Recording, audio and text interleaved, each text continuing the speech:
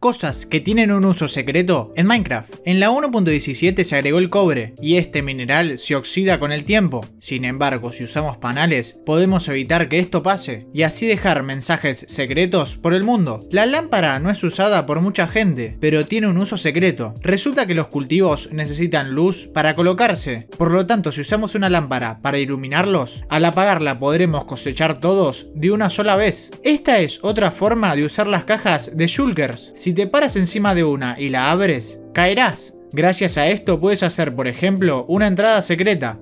Los cristales de End sirven para matar al dragón más rápido, por ejemplo.